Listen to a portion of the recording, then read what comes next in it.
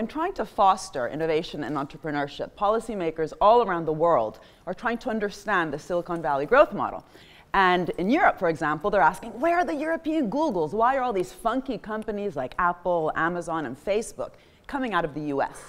And the answer that we've actually heard to this question is that some countries, for example, some of the southern periphery of the Eurozone, just have too much state, too much bureaucracy, which is actually impeding um, you know, private venture capital, the entrepreneurs, the garage tinkers, to be able to do their thing, to be able to welcome failure. Um, and often this juxtaposition is very much, if you want, explicit, even in the media, where we're told, for example, that the state is a big leviathan, which is meddling and impeding innovation because of its heavy hand. The Economist, of course, is one of the uh, proponents of this.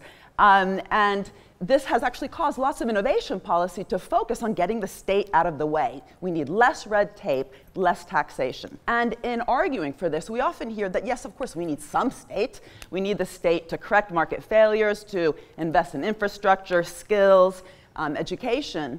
Um, but actually, the really revolutionary spirit which actually created Silicon Valley, really is focused in the private sector. And so what the state should do is create the conditions, facilitate that wonderful dynamism.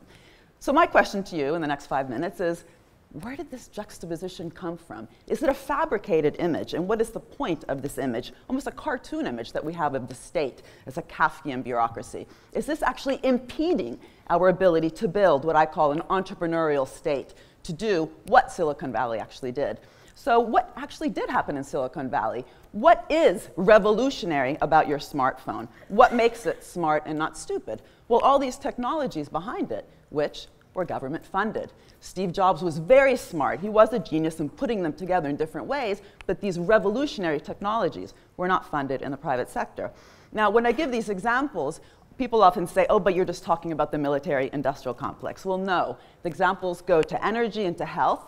The NIH actually is responsible for the most revolutionary new drugs, these new molecular entities with priority rating. 75% of them are actually coming out of these boring Kafkian public labs. And when we look at the actual investments, the investments were not just about basic research, which is your typical public good market failure problem. It was also applied research. It was also, God forbid, early stage seed funding coming from government. Government as venture capitalist through, for example, these SBIR loans, Small Business Innovation Research Program, which you can see here in this graph, have actually become more and more important in advanced capitalism. Not, you, know, you shouldn't be surprised as finance has become increasingly short-termist. Where do you get the funds to fund innovation, which takes much longer than the venture capital cycle, which is all focused on the exit in three to five years? We need patient, long-term committed finance. Now, what I'm basically describing to you is the state as entrepreneur in the sense of being willing and able and courageous enough to take on that upper right-hand quadrant, be one of the lead risk takers. Now, one of the problems is, if you've ever taken finance, there's, in theory, a relationship between risk and rewards. Now, in thinking about the state as one of the leading risk taker, the question is, has it actually also gotten some reward back? Well, the tax system, which is the way it should be getting back that reward for its risk taking, hasn't really worked. We know that many companies, um, which have received such huge benefits from the state through both the technologies and early stage financing do not pay back much tax. And rethinking this risk reward mechanism is fundamental. I mean, had the government just received even just 1%, it should be much higher than that percentage there, back from the internet, think how much more money today there would be to actually be funding uh, green growth. Um, now, unfortunately, because we've privatized all those rewards and haven't thought about really specific mechanisms, for example, the government uh, retaining perhaps a golden share of the IPR, retaining some equity, or income contingent loans. We have it for students, why not for companies? That would make growth not only smart, innovation led, but also more inclusive. Now, how do we achieve growth that is both smart and inclusive? It's not going to happen by itself. We need to think about mechanisms.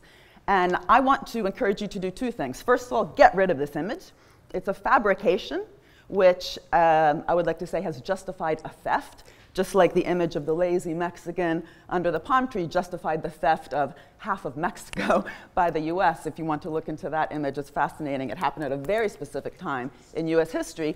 This image is a false image which is currently justifying a theft from the public sector, which is funding some of the biggest risk in technological change, which we know is a key driver of growth.